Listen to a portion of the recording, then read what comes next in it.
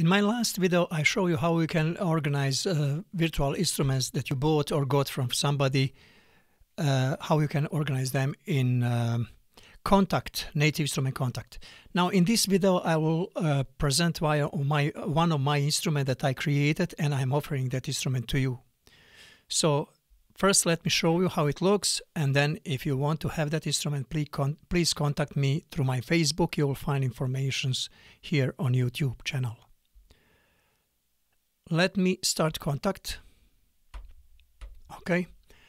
Now that instrument is here is already organized. I put it already here and now I'm going to start that instrument. You'll see in video how you can organize those instruments and have them here in this location. Quick load. And I'm going to call that instrument. So I'm going to move this now down just to show you how it looks now I will close this as well.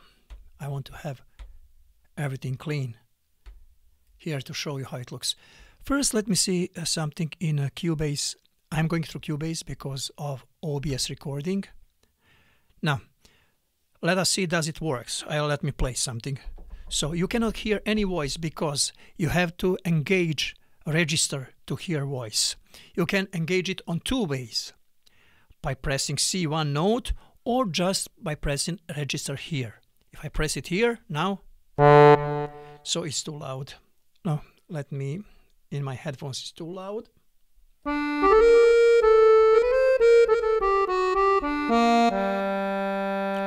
So that is basson. Now you can change register here.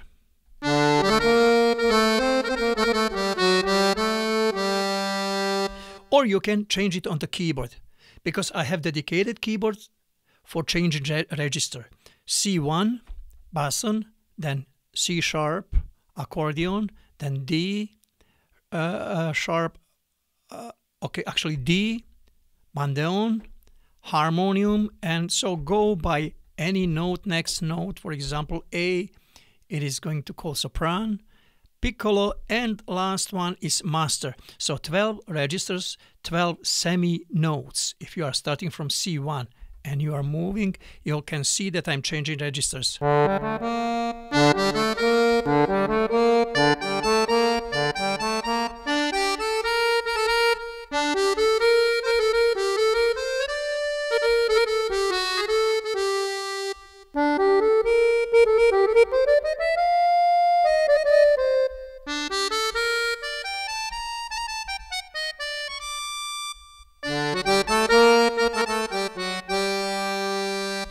That is how you can change registers.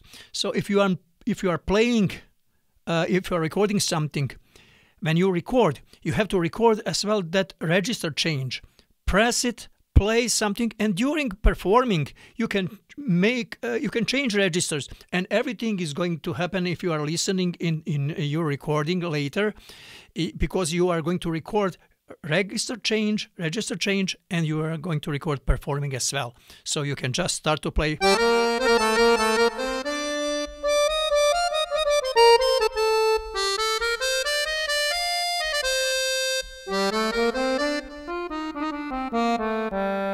So by the time you are playing, you can re record uh, all those register changes as well.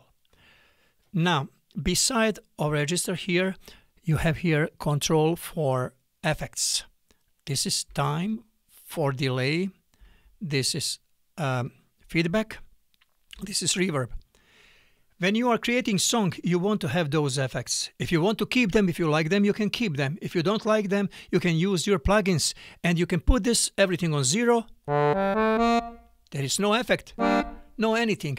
Now, if you save it with song, it will not be saved and um, actually it will be sorry uh, the phone is disturbing me. Somebody is calling me. I have to remove that phone just to don't look it. So when you start to perform song to make song you will use effects to get inspiration in performing. And after that you can put those effects down and you can use your vst effects. And when you save that everything is going to be saved with your project so If you say with FX, you will hear FX. If you say without FX, you will, you will not be able to uh, listen to the FX. Now let us try delay. First delay, I will put leave it up. So now this is speed of delay. This is speed. And then feedback. And if you need reverb, you'll add reverb. So that is about that.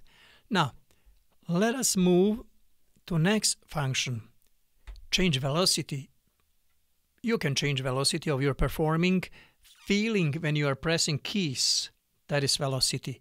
So you can uh, choose velocity curve, random change, maximum, minimum uh, uh, velocity. So everything is here for con to control velocity. And then intervals. If you want to have some intervals, upper, lower intervals in any key, type of the key, and you can control balance between main sound and that interval. You can control volume. So for example, if I want to have C major, that is key, C major, that is scale is major, you can choose scale, it says scale, and then interval plus 3, you'll get upper 3, that is upper 3, C major, and now you can control volume for that upper sound. And now we can add a little bit of reverb to everything. Now we can add a little bit delay to everything. So.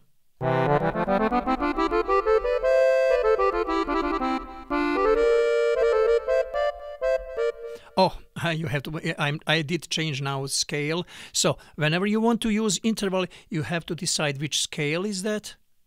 So and you have to decide which interval you're using. For example, if I want to use harmonic minor, A minor, let us say A interval major, minor, harmonic minor.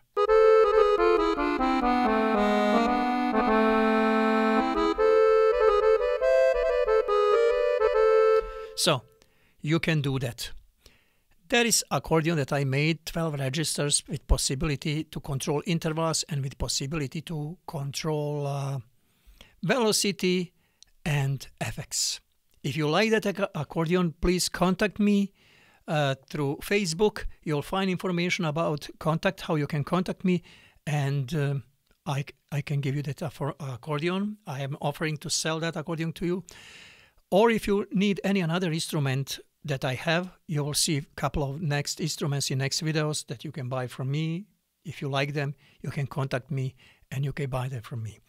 Thank you very much for watching this video. See you in my next video.